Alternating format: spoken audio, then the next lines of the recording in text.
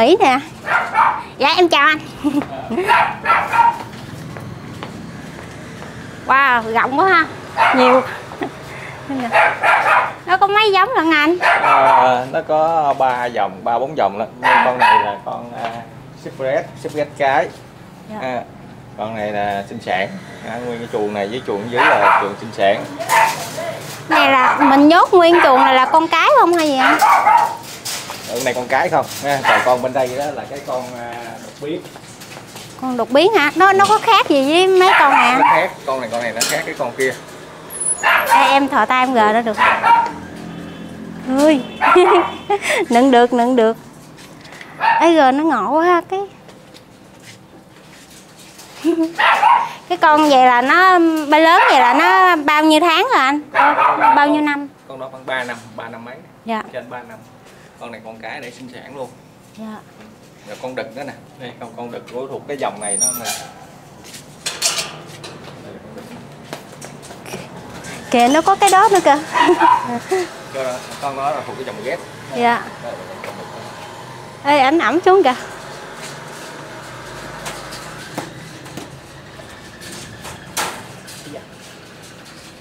Anh thấy cái da nó nó bong bong lên ha anh? Ừ, nó đã lộn Coi chừng cái cửa nó trúng cái đầu này. dạ. Bao nhiêu lâu nó mới lột lần anh? À, nó, nó tùy theo cái cơ địa đó. Dạ. à, nó lọt gì là nó lớn. Dạ. À, ui cái móng của nó nè. Ê, cho em ẩm thử được không? Được được. Có có à, ê, anh đảo giùm em cái này nha. Rồi. À đây đây các bạn mình ngước được rồi cái nè. đầu lên ngước cái đầu lên. Ờ bợ ngước cái đầu dạ vậy nè rồi. ha. Ừ. nó khoái ngước cái đầu lên nha. Ảo quá ha cái đuôi nó dài thọn luôn á. Cái con này á là cái giá trị nó là ở đâu anh? Nó, Cái con càng lớn là con, sao? con càng lớn thì giá trị nó cái cái giá trị nó càng cao Dạ. Nó mà tùy theo cái dòng như là cái dòng như cái dòng này thì giá trị nó cao hơn cái dòng cái dòng đỏ trong chuồng bên kia. Dạ. Cái con đó thấy vậy nó bự hơn nhưng mà giá trị nó thấp hơn con này. Dạ. Mình cân ký nó hay là mình đo hay sao anh? Không có cái dòng này hàng này á, là cái hàng kiển cho nên là nó là bán theo con. Dạ. Chứ nó không phải như hàng thịt là cân ký tại em không biết. À. em không biết thì đó giờ mới gặp đó nè. Cái con con cái con này con cha nè còn con con đó nè dạ. Con ờ, nó chỉ còn nó đẻ ra một bầy ra con đó nè. Cái này kêu là dòng mang phí à? Dạ là nó mỹ cái thức ăn của nó là cái gì anh anh cho anh? Ra củ quả không anh? Dạ em thấy hình như có gắt muối nữa hả? Không có đó là thức ăn anh chế biến ra làm anh bán luôn á cho nó À. ăn rồi bán luôn á. Vậy ha à, à, con đó nè. Cái con đó nó nhỏ vậy mà nó bao nhiêu tuổi bao Con- nhiêu tháng rồi anh nuôi được năm bao lâu? Một năm rồi đó à, các bạn con này 5 tuổi nè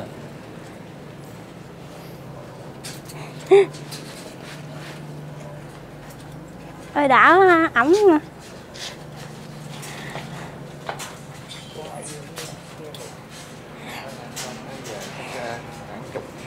triệu cơ duyên nào mà anh nuôi cái con rồng này á anh? À, này hồi đó bán quán cà phê á rồi Dạ. mua con con về á rồi để chơi kiển. Rồi à, mua ngang cái rồi thấy vậy mua thêm con đực nữa rồi cái về cái à, nó đẻ con hay đẻ trứng và để trứng rồi cái ờ, cho nó sinh sản luôn cái sinh sản được rồi cái bán thấy cũng có kinh tế thấy vậy thôi ờ, ra mở trại làm luôn. Dạ nó đẻ trứng hả anh. Để trứng. Là một con là nó đẻ mấy ờ, mấy cái trứng khoảng trung bình mấy cái trứng anh? Một con nếu mà nó đẻ lứa đầu á cái con tơ mà đẻ lứa đầu á thì nó Dạ. khoảng hai mấy trứng. Dạ. Khoảng từ 17 đến 25 trứng. Dạ. Còn mùa 2 á là nó đẻ từ 35 đến 45 trứng. Là nó ấp nó nở hết luôn hay sao anh? mình đem ra ngoài. Dạ chứ nó không có tự ấp được ha đúng rồi. Dạ. nếu mà nếu mà sống ngoài quan á, là nó bươi đất cát lên để Dạ. nó chùi trứng dưới. Đó là với là với nó phải như gà mà nó nhảy lên là Dạ. thì ra là nó nó đào lỗ xong rồi Dạ. nó để trứng luôn đó ha. Rồi để đại nó dạ em để lên đây. Ê, bạn lên đây lên đây đứng nha. Ê, đứng lên chân mình nè. Rồi để xuống đây Ê, đứng xuống con đứng xuống con đứng xuống đây đứng xuống đây. Đứng xuống đứng xuống. À, mình hơi bị gói với mấy em này nha. Đây Ê, cái này nó ngộ lắm nhìn giờ nó giống như mũ vậy đó.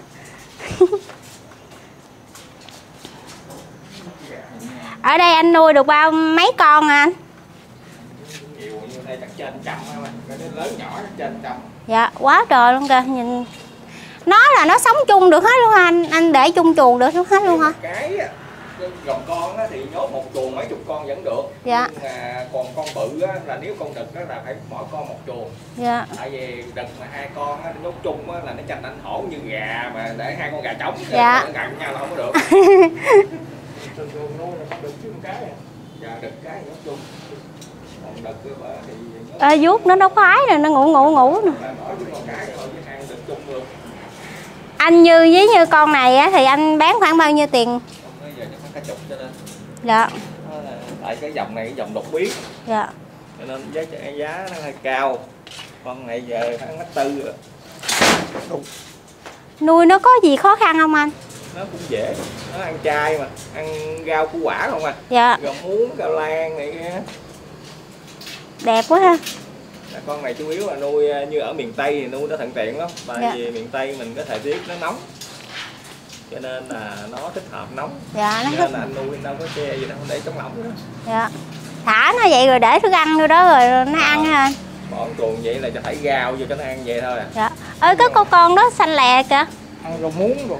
Dạ rau muống rau lan cải ngọt ờ, đồ ngót nó cũng ăn nữa cái này là kêu bằng cái gì anh? Cái màu hả? Cái đó là kêu bằng à, cái yếm. Nếu mà cái dân chơi gồng á nó kêu bằng là cái yếm. Dạ. Cái yếm. Nhà bán cho hai con dạ. Nhà rồi bán cho tao hai con coi.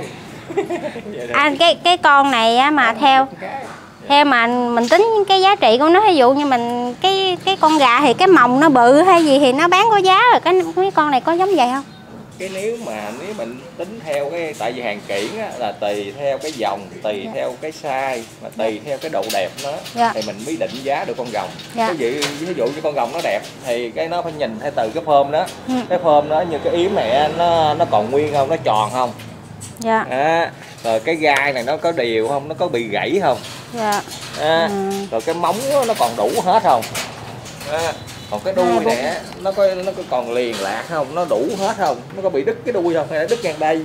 Dạ. Hoặc là nó khi khi mà nó nở á, khi nó nở khi có con nó bị khuyết tật á cái nó có cái khớp. Dạ. Nó cong cái đuôi này à, đó, thì cái giá trị nó mất cái giá trị. Cho nên là muốn định giá con rồng đó thì mình phải ờ, nhìn theo tùy cái độ đẹp đó, thì mới định giá. Ê, giờ nó im luôn nha. Nó bóng á. Cái da của nó lưỡng à cái con này mà mấy thí dụ như mình à, mua mình ở xa mình muốn mua á anh là anh có ship tới được không? À, có anh ship toàn quốc luôn. Dạ. Là nó khoảng bao nhiêu lâu là anh xuất được anh bán được? À, nếu mà rồng mà nó nở ra á, thì tầm khoảng à, từ 3 tuần 3 Dạ. tuần trở lên. Thì con rồng con nó ăn mạnh á, thì Dạ. mới giao cho khách. Còn nếu mà nó mới nở ra thì nó chưa có mạnh thì mình không dám xuất cho khách. Khách về chăm sao nó khó sao. Dạ như rồng con mù rồi nè con nè đó cái con rồng con như vậy là nó nở bao lâu rồi anh? Con này hả? Con này trên tháng nè trên một tháng rồi là Trên mình tháng xuất là được. tháng luôn á. Dạ. À.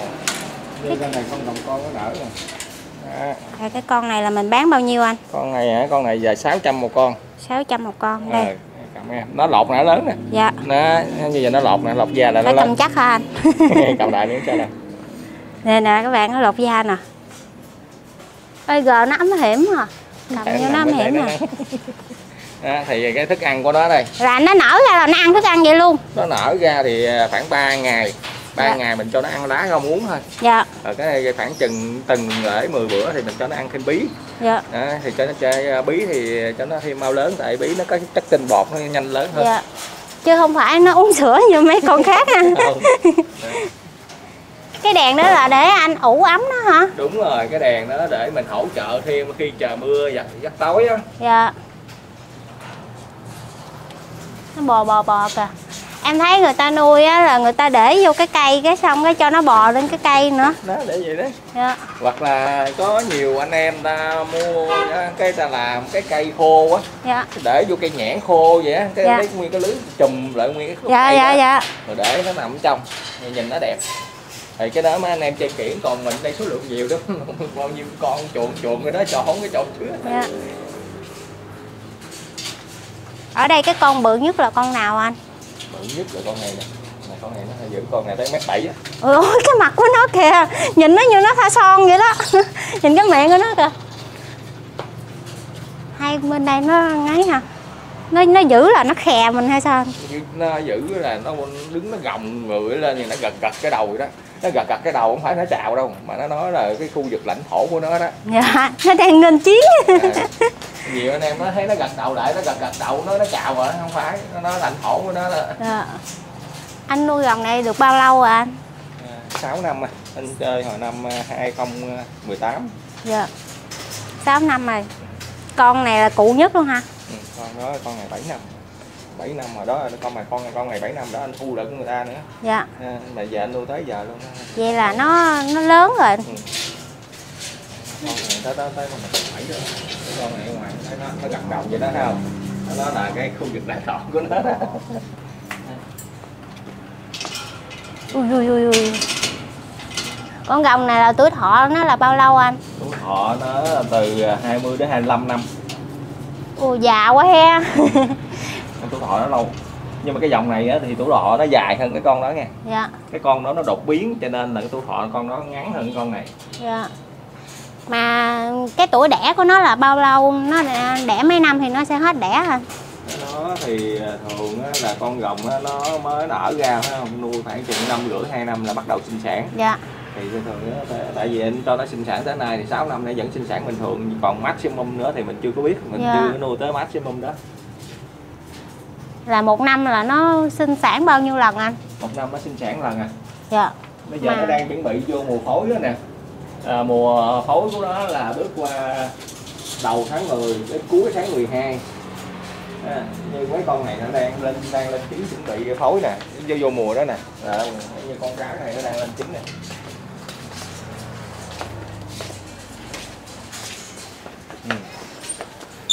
đây là con cái nè đang Đây. đang lên trứng nè nhìn thấy cái bụng nó to nè.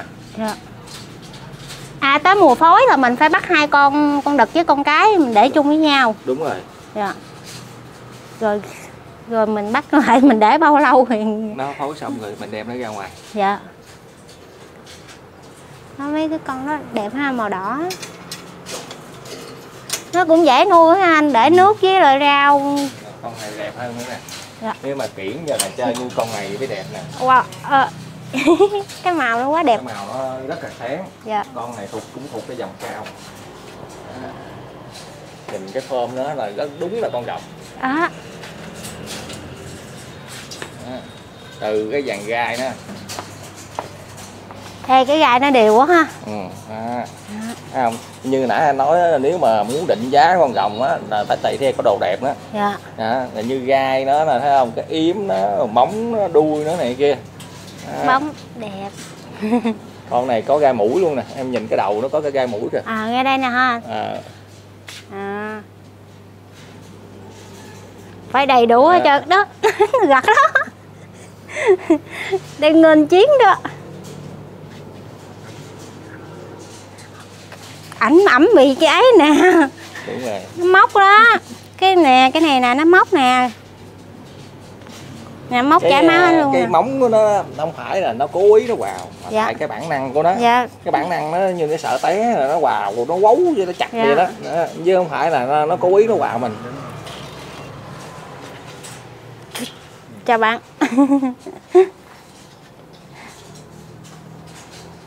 ờ, cái chân nó khác ha cái màu chân của nó khác với cái màu cái mình đó nè.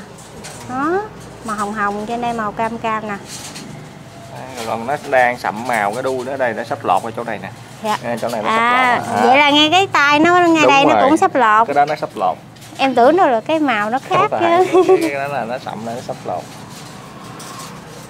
Khi mà nó lọt ra là mình cảm nhận được nó lớn hơn ha. Đúng rồi nó lọt và nó lớn á. Dạ như là thấy nếu mà hai con đực Dạ. nhìn thấy hai kìa kìa cái con này nè. Đó, nếu Đó. con đực nó thấy nhau là bắt đầu nó gọn rồi. Đó đó. Ui ui ui dữ vậy sao? Nè như con bên đây cũng vậy nè. Dạ. Đó, nó đó gọn nó nó gồng lên đó nó phụng lên đó. Đó. đó. con này đang lọt luôn. Đó đó đó đó. Bởi vậy là nó giống như con gà nó nó tranh anh thổ lớn lắm. Dạ. Nó, khi mà vô mùa vô mùa giao phối của nó là nó còn càng dữ nữa. Ừ. nó còn tranh giành dữ nữa. Mấy con này anh có thấy maximum nó là nó mấy ký không anh? Maximum nó 8 đến 10 kg lận. ui nhìn dễ mình là con cái. Chào bạn gồng đó Đây, vô chuồng, vô chuồng. Rồi rồi cho nó vô chuồng anh ơi. Kìa nó thấy sát bên luôn mà nó còn vậy á. Nó vào gấu nó cào cấu kìa. Đó đó hai con nó gặt gặt kìa.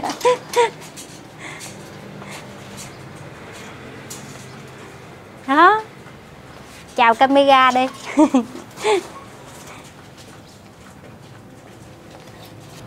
Ui mấy cái con này nó lột da nè. Ê, bạn ơi mấy con này nó thích leo trèo lắm nè. Anh để cái khúc cây vô cho Đúng nó rồi. rồi nó leo.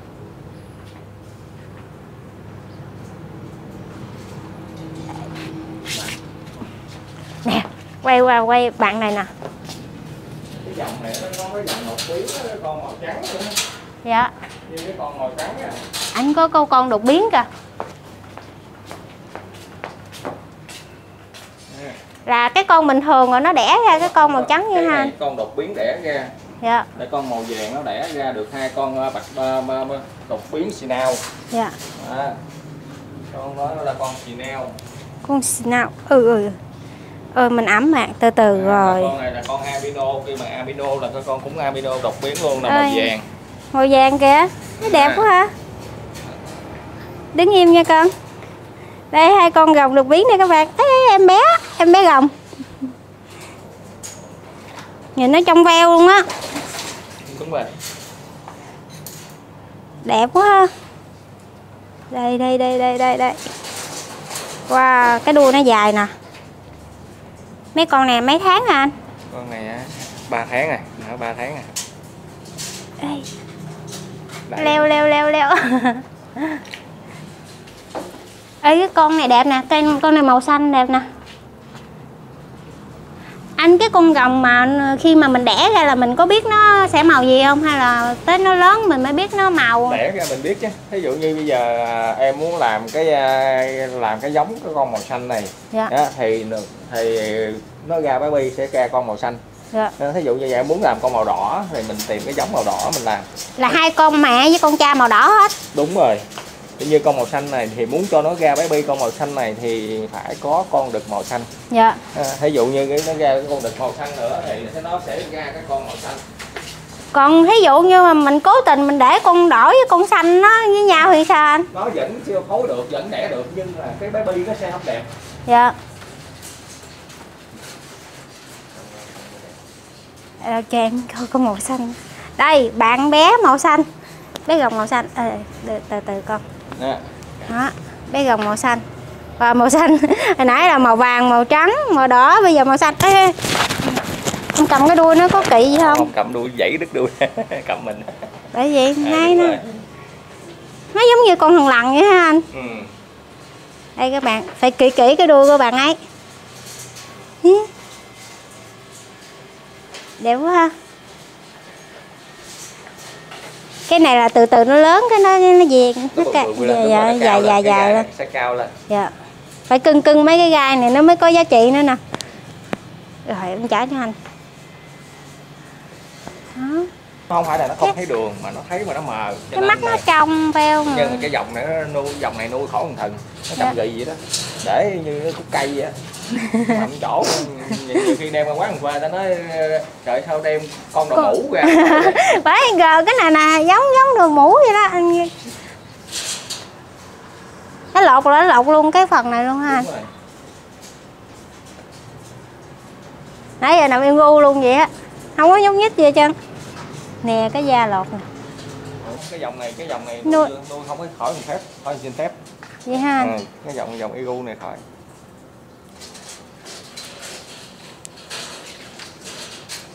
Nè cái chân nó cái vẫy nè vẫy vẫy lên vẫy gồng đây. Này con trai hay con gái anh? Này con trai. Đẹp trai.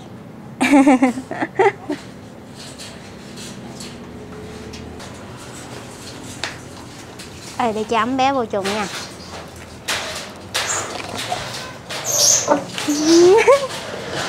Để chị thả bé vô chuồng. À, vô con. Anh rồi sao nó vô? Đây nè con vô đây oh. rồi bỏ vô đi nhé. cái chân nữa kìa hiền quá trời hiền. Mấy bạn này hiền khô à nuôi ở nhà được nuôi kiển được.